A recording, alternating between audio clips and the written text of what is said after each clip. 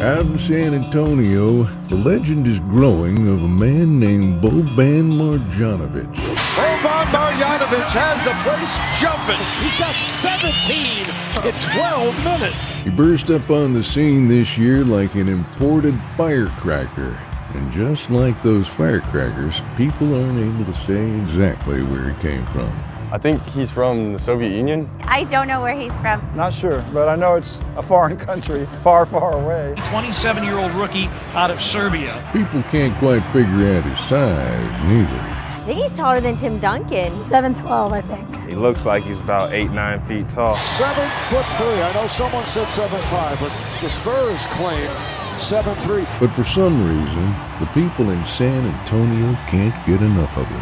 Boban is so popular. We all love Boban because it's just like some big random dude. Boban is our fastest selling merchandise. He's big, he's athletic, he can shoot. There was even a guy who had his face haircut like in the back of his head. And now his legend is about as big as his shoe size and about as gripping as one of those Texas-sized hands. Those hands. He's got, makes that ball look like a grapefruit. The dude has done some legendary things this season.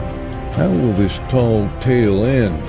Will it be one for the ages with another championship for the Spurs? Shucks, I'll be watching to find out.